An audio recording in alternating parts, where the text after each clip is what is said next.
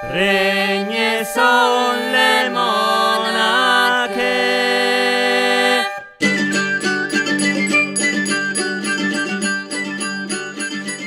Saluto a tutti i videoascoltatori di Italia Medievale. Stasera presentiamo un bel saggio, un bel testo dal titolo L'esercizio del duello giuridico tra il VI e il XIII secolo ermeneutica e traduzione del Summa de Pugna di Roffredo Beneventano, di Corrado Tomaselli e Davide Traverso, che abbiamo il grande piacere di avere nostri gariti ospiti, ospiti perché ci parlino del duello giuridico. Quindi io, come mia abitudine, vi lascio subito la parola in modo tale che possiate raccontarci cos'è questo testo.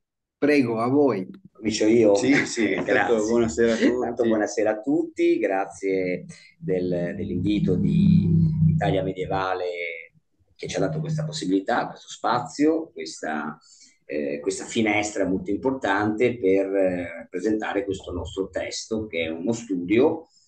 Lo studio, ci tengo a dirlo, eh, firmato lo steccato segreto. Lo steccato segreto non è una casa editrice, non è un editore, ma è un progetto editoriale solo in funzione del centro studi sul duello antico del maestro Tomaselli, che è appunto il centro studi che si occupa di, di questo da decenni ormai di, di studiare l'aspetto mh, sia dal punto di vista del duellista, del duellante e noi abbiamo coniato anche un nuovo termine, duellologico, cioè l'insieme di, queste, di questo tipo di studi eh, può creare una nuova disciplina, una nuova branca diciamo, di studio a livello proprio, se non accademico, comunque indipendente, che è quello della teologia, cioè mettere insieme eh, non solo il testo giuridico della scienza cavalleresca, cioè su come avveniva il duello, quali erano le leggi che lo regolavano, ma anche il testo di eh, arte, eh, il trattato di arte delle armi o scherma antica volgarmente detto, che non è proprio adatto come termine, però lo utilizziamo. E poi eh, per fare questi studi bisogna essere anche un po' storici, un po' filosofi, un po' antropologi, un po' teologi, perché eh, chi segue appunto il Medioevo sa che l'uomo medievale è un po' tutto questo eh, non si può prescindere nulla senza applicare un insieme di studi che non variano dal, eh, dal punto dalla filosofia, dalla religione, dalla spiritualità, eh, dal culto, da quelle scienze che erano quelle antiche che non sono assolutamente quelle moderne.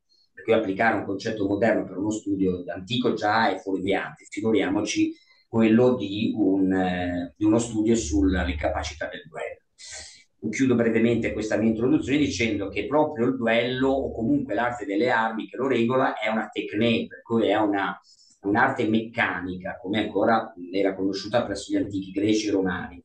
E l'arte meccanica non può essere solo studiata studiando un libro, un, un trattato o un, un semplice testo giuridico, ma bisogna provarla fisicamente, costantemente, continuamente e far sì che il proprio corpo diventi quello di un antico uomo medievale pratica questo.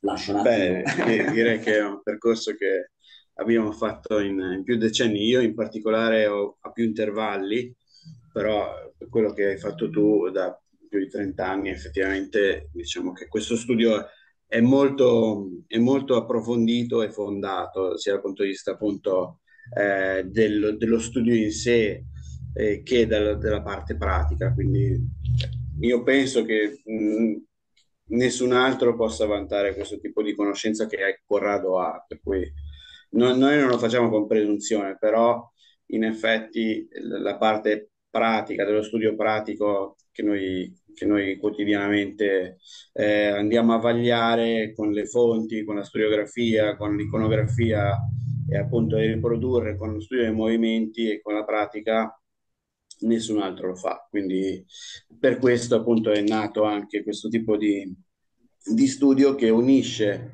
la parte eh, appunto della, del trattato in sé giuridico e appunto l'esercizio del duello, no? che, che appunto è una visione completa e complessiva che eh, lo storico del diritto non può avere lo storico delle armi neanche, neanche lo storico del duello non c'è, perché siamo esatto. solo noi e quindi abbiamo preso la palla al balzo e abbiamo unito tutte queste cose in questo libro e abbiamo cercato di dare frutto a eh, questa, questa ricerca che da più di tre decenni va avanti. Ecco, e diciamo che è una piccola fatica, però è anche questa è una summa del, esatto, esatto. del lavoro del centro studi, ecco, del centro studi sul duello antico, per cui è uno dei, dei primi passi è secondo me ottimo. Ecco. Eh, riagganciandomi adesso al testo, eh, posso dire che è un mio vecchio progetto di quasi un quarto di secolo, quello di tradurre eh, la Summa de Pugna di Roffredo Beneventano, perché sembra un assurdo, ma non c'era nessuna traduzione in italiano. Eh, Federico Patetta, uno storico, saggista eh, di, di, storia del diritto di fine Ottocento, l'aveva eh, stampato, l'aveva inserito in un suo studio, sì, okay. e, ehm, però non abbiamo da, da, quella apparizione non abbiamo mai avuto una traduzione in italiano ed era un mio cruccio quello di poterlo tradurre, anche perché è il testo più antico ma più completo se togliamo Ugone di, di Porta Ravennate, che gli è un po' precedente, ma molto più, eh, come dire, più breve, è il testo più antico e più completo su come doveva essere, diciamo, apparecchiato un duello nel, nel Medioevo e eh, soprattutto ordalico, giuridico. Qui i campioni chi dovevano essere, eh, chi poteva farlo, eh, dove si faceva, con che armi, le casistiche, eh, è interessantissimo ci chiediamo come mai la, lo, diciamo, l'Accademia dello studio di diritto non abbia mai tradotto in italiano questo testo. E l'abbiamo capito, l'abbiamo capito perché sia grazie a Davide che mi ha dato eh, come coautore, abbiamo fatto insieme questo, questa, questo studio e questa traduzione, soprattutto grazie alla professoressa Galuppi, una mia eh, antica amica, che essendo latinista e grecista si è messa a tradurre questo testo non senza, non con grandi difficoltà dal punto di vista mh, mm, diciamo linguistico, sintattico, ma con grossi ostacoli quando venivano fuori gli aspetti del duello, che solo chi conosceva il duello poteva risolvere nella spiegazione e anche nella traduzione più conforme o più adatta all'italiano. Sì, conoscendo effettivamente eh, cioè la, la, prassi del duello, allora uno ha davanti un testo e riesce per, perfettamente a capire, perché non è così chiaro, nel sen- potrebbe non, es- non, essere così chiaro leggere il Summa de Pugna per una persona che, che non, è addentro a questi tipi di dinamiche, soprattutto anche perché, come abbiamo detto prima, bisogna sempre mettersi nella testa di un contemporaneo di Roffredo e mai giudicare il testo con gli occhi di adesso, comunque con Chiaro. il taglio storiografico contemporaneo. No. Quindi c'è voluta anche la nostra chiave di lettura ad imbeccare la traduzione e a chiarire dei punti oscuri, perché c'è sempre un ragionamento paratattico, ci sono sempre un po' di, di frasi che sono lunghe, aperte, non si, non si riusciva bene a capire dove andasse a parare, ma effettivamente poi ragionando come ragionava un, almeno eh, cercando di avvicinarsi naturalmente per quanto c'è possibile, un antico, allora si riesce a capire ad esempio perché un'offesa viene valutata in una determinata maniera piuttosto che un'altra esatto. ecco, e perché c'è una determinata risposta perché si arriva al duello. Diversamente non si riesce a capire questo testo. E tra l'altro la storiografia eh, sul duello, la storiografia giuridica sul duello si concentra quasi sempre su una fase leggermente successiva. La storiografia parla sempre di una crisi del duello che avviene intorno al concilio lateranense IV 1215, che si avvia questa crisi e poi si concentra sul passaggio tra il duello giuridico al duello per punto d'onore o al duello a punto d'onore. Però tutto quello che viene prima nessuno lo ha mai poi considerato più di tanto perché effettivamente non avendo un testo, non facendo una ricerca sulle iconografie, sulle leggi barbariche ehm, ehm, del, dell'Alto Medioevo e sui Longobardi e sul, sui secoli XI e XII, anche dal punto di vista giuridico, non si riesce a ricostruire questa storia. Noi siamo riusciti ad avanzare delle ipotesi che naturalmente eh, eh, vorre- vorremmo avere più strumenti, più confronti per rendere ancora più solide, però queste ipotesi, almeno a nostro parere, sono le migliori in questo momento e le più plausibili. E poi, appunto, leggendo il libro si capiranno quali sono, poi se Corrado vuole anticipare qualcosa. Questo è quello che volevo puntualizzare, anche in riferimento alla storiografia adesso. Ecco. No, e infatti dici, dici benissimo, Davide dice bene, eh, diciamo che sono ipotesi, ma sono anche le uniche, nel senso che eh, oltre a noi non l'ha mai fatta nessuno.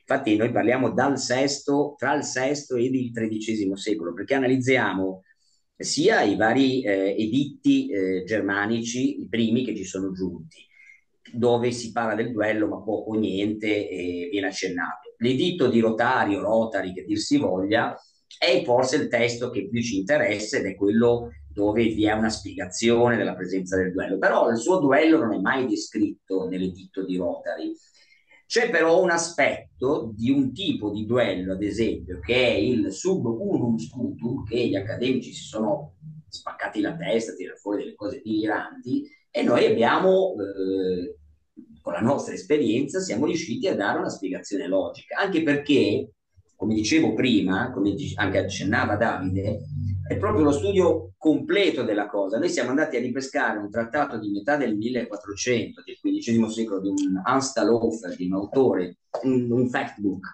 un trattato di scherma, che però è un po', più completo un trattato di scherma, perché c'è un po' di... Metà, eh, poi si scopre che esatto. Esatto, ci sono macchine da guerra, però è anche un trattato giuridico, dove è fatto soprattutto, essendo manoscritto, di immagini. Queste immagini hanno brevi didascalie, e noi da lì abbiamo capito che cosa poteva essere il subunus scutum, perché lui lo rappresenta, rappresenta una serie di duelli con altri nomi che però richiamano esattamente il duello di Mazza e Scudo, il duello antico degli Svevi, cioè dei Germani, e anche un duello che fatto con solo uno scudo si poteva, eh, diciamo, ricondurre, o... esatto, ricondurre a questo. Ecco perché diciamo che ci vuole una, una, ricerca completa per affrontare questi argomenti, perché se ci si ferma solo sul testo, in questo caso giuridico, si andava da, da nessuna no, parte. Da nessuna parte Ma anche solo se ci si ferma su un trattato, se guardando le figure, cercando di, di copiarle o di imitarle. No? Sì, eh. anche perché poi il mondo antico, non essendo, essendo completamente diverso dal mondo in cui viviamo adesso, non butta via nulla, nel senso che c'è sempre una connessione intrinseca che va avanti per secoli e secoli, quindi le cose, se uno ha voglia di cercarle, si trovano. Esatto, esatto. È questo che è, è, il modo di ragionare che bisogna porre quando si affrontano certe tematiche un po' come dire l'archeologo, eccetera, che sa che c'è una certa continuità strutturale nei modi di costruire, tecnica, eccetera, così questa stessa eh, continuità c'è sia dal punto di vista iconografico, sia dal punto di vista della, della consuetudine, che è poi quello che guida poi tutto, perché l'uomo è, è sempre stato quello, nel senso, eh, l'uso delle armi è sempre stato quello, quindi per forza c'è una continuità eh, se non si passa dalla spada laser a, come dico, dalla sciabola alla spada laser, allora uno dice, vabbè, però se le armi bianche sono quelle, i popoli sono quelle, la consuetudine rimane, perché poi questo è anche un tipo di, di diritto che è consuetudinario, quindi esatto. si basa su proprio una consuetudine che rimane radicata da popolo a popolo, che si trasmette e che quindi si può ritrovare. È difficile, naturalmente noi con i nostri mezzi limitati, le nostre risorse limitate abbiamo scalfitto una parte e poi andremo avanti scalfendo anche il resto, esatto. però eh, avessimo potuto avremmo naturalmente impiegato più forze sarebbe stata una ricerca molto, ancora molto più vasta, molto più approfondita. Ci sono tante tematiche che ogni giorno magari ci guardiamo e diciamo ma questa come la svolgiamo? È ce n'è, ce n'è di roba, ce n'è tanta. Il centro studi fa quello che può e direi che già fa più, più, più eh, di tanto. Ecco, più di tanto. Ma infatti, ad esempio, un altro aspetto che è venuto fuori e che è giusto solo noi potevamo tirarlo fuori, eh, grazie a una grandissima ricerca iconografica fatta da Davide, che si è messo lì e ha cercato tutto ciò che rappresentava il duello, sia dal punto di vista della pittura, del mosaico, eh, dell'architettura, noi riusciamo a fare un discorso proprio di differenza di tradizione germanica, dove si usava un tipo di scudo, e tradizione italica, dove se ne usava un altro. Per cui viene fuori la differenza anche, che so, dell'aspetto eh, più, più, tecnico e virtuoso preferito in territorio italico piuttosto che in quello germanico, dove magari mh, si dà più aspetto alla forza fisica. E queste cose vengono fuori anche nella rappresentazione, infatti si vede nel, nel, nella penisola italica abbiamo quasi sempre scudi molto più ridotti, con eh, capacità minori di difesa, che però richiedono molta più tecnica, mentre in ambito germanico abbiamo scudi spesso sovradimensionati o addirittura con delle orpelli che possono dargli anche quell'utilizzo di arma offensiva. E questo è uno studio che è importante perché si deve vedere anche lo sviluppo di ciò che i germani hanno portato, le tribù e le popolazioni germaniche portano in penisola italica, dove avevamo già una tradizione antica, gladiatoria, e però c'è un cambiamento. Noi riusciamo a leggere questo cambiamento e non solo, riusciamo anche a capire del perché, ad esempio, il duello dei Longobardi, che poi diventa duello alla Longobarda, rimane alla Longobarda ancora quasi nel 500, che proprio segna il duello all'italiana, che è un duello particolare. Eh sì, eh, sì, tra l'altro permetto non per parlarci addosso, no, però sì. all'interno del libro eh, c'è proprio un capitolo che Corrado ha scritto, che è un capitolo tecnico sull'utilizzo dei vari scudi che è quello che eh, è la chiave che manca, solitamente manca, per interpretare sia il trattato di scherma che le iconografie. Faccio un esempio, c'è un'immagine di, eh, di, Piacenza, che perdonami, non mi ricordo la, la, la, la chiesa, dove eh, ci San sono Savino. San Savino di Piacenza, dove ci sono questi scudi rotondi, che sono scudi tipici italiani, e noi abbiamo, ci siamo detti, ma perché ci sono questi piuttosto che lo scudo grande tipico tedesco? Usando e sapendo usare questi tipi di scudi, tutte e due, sapendo le differenze, allora uno riesce a capire il, anche il lato tecnico, quindi come diceva Corrado prima, che in Italia c'è più tecnica, quindi c'è un duello diverso e allora attecchirà una casistica di duello giuridico diverso rispetto a quello che piuttosto c'è in ambito germanico. Però senza la chiave tecnica, che è quella che manca generalmente allo storico, non, queste cose non possono venire fuori, non, non possono essere interpretate. Quindi per fortuna avendo questo lavoro dietro alle spalle di anni e anni di pratica, siamo, potu- siamo potuti arrivare a coniugare sia la pratica che lo studio, che è una cosa che, come ad esempio il restauratore va a fare il restauro, però gli manca la pratica all'università, che è una cosa che vedevo che mi faceva rabbrividire, quando facevo architettura i compagni restauratori che dicevano ah facciamo una settimana di restauro al tale castello per gli affreschi. E io dicevo ma scusa ma fate una settimana sola poi fate uscite dalla facoltà e cosa sapete fare? Chi fa 30 anni, 30 anni di arte eh, de, delle armi poi queste cose dopo le vede subito. Eh, purtroppo cioè, c'è da dirlo nel senso non è un lodarsi apposta, però è una marcia in più che noi abbiamo e possiamo, possiamo vantare. Sì, anche perché appunto mi dai giusto il, l'occasione, perché è uno studio anche sul corpo, bisogna avere la postura che aveva l'uomo antico e solo così si capisce del perché certi movimenti. Infatti noi leggendo un'immagine, una illustrazione, un'icona, ma anche molto antiche, anche dell'epoca, se vogliamo, etrusca, perché poi le posture rimangono quelle fino più o meno alla metà, poco prima della metà del XVII secolo. Per quella postura è uguale, perché poi le armi, come diceva Davide prima, sono quelle, corte o lunghe che siano, la postura deve essere quella. Avendo la postura, leggiamo il corpo, leggiamo l'azione, leggiamo se è un'azione d'attacco, leggiamo se è un fendente, se è un eh, colpo di, di, taglio di lato, vediamo se è un colpo trasversale, vediamo se è stato dato o no, eh, può, possiamo anche leggere i colpi che ad esempio vengono dati per le decollazioni di quegli affreschi dei, dei martiri. Eh, si leggono queste cose. Chi è abituato a leggere perché sul corpo l'ha dovuto provare, se l'è fatta propria, queste azioni eh, si riescono a leggere ovviamente molto bene. Ecco, questo ci aiuta, ci aiuta.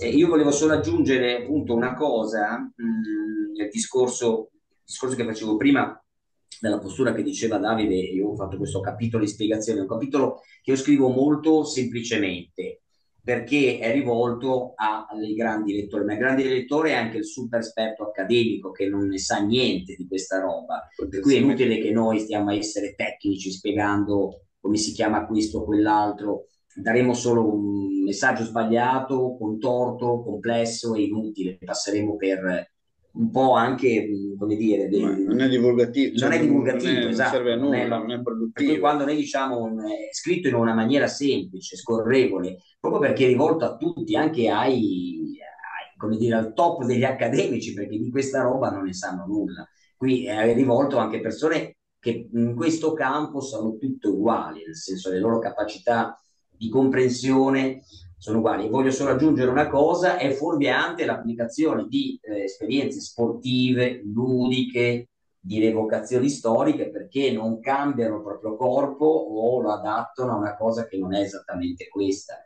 Che l'arte delle armi prevede uno scontro armato con armi che eh, siano vere e che devono riprodurre un duello. Se non si riproduce un duello vero è difficile capirne tutti gli aspetti, psicologico, fisico, eccetera.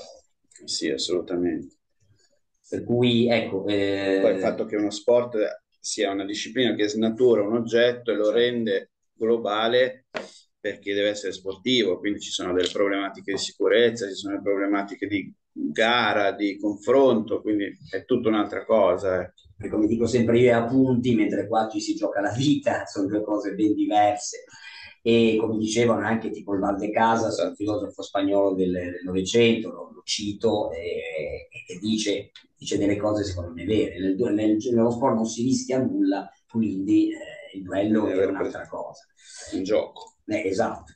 E, e, come tale, appunto, ehm, è importante il discorso del duello perché noi analizziamo anche il fatto alla psicologia che c'è dentro il duello, nel senso che ad esempio, noi eh, facciamo un discorso sulle differenze dei vari tipi di duello, come dicevamo prima, sullo scudo, il duello, il mazzo e scudo, perché anche chi era dentro, come scriviamo, aveva un senso della vergogna tipico dell'uomo antico, cioè dell'onore, che oggi l'uomo moderno non ha più.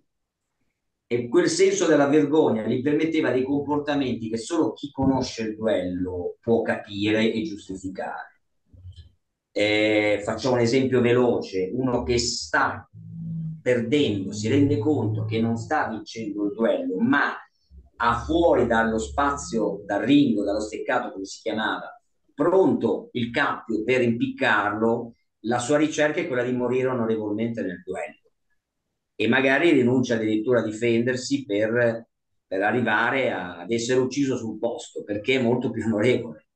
E questi sono concetti che però noi pensiamo che siano abbastanza scontati, ma oggi l'uomo appunto moderno, non avendo il senso della vergogna, cerca sempre le fughe eh, più, più, tristi, tipo, tipo Sorcio, no? tipo il, il, che però sa morire con dignità il topo. Mentre l'uomo moderno no, mentre l'uomo antico ha questo concetto forte. Anche il delinquente che finisce in un duello perché sa di aver ucciso qualcuno, sa che però eh, può rischiare di morire impiccato, può scegliere di morire onorevolmente e lui lo sa e lo può fare, e può fare questa scelta. Bene, io direi che bisogna andarselo a comprare questo libro, ma si, si, può comprare anche online. Sì, perché, esatto. Eh, perché lo trovate su Amazon, mi pare, sì, su Amazon, esatto. Quindi io ricordo il titolo che è L'esercizio del duello giuridico tra il VI e il XIII secolo. Ermeneutica e traduzione del Summa de Pugna di Roffredo Beneventano di Corrado Tommaselli e Davide Traverso, che abbiamo avuto il piacere di avere nostri graditi ospiti che ce ne hanno parlato, che io ringrazio tantissimo e a tutti voi invece ricordo di continuare a seguirci sul nostro canale YouTube dove trovate tutte le nostre video presentazioni. Quindi grazie ancora e a presto. Grazie, grazie, a grazie, grazie a voi. Grazie, a presto. Regne son le monache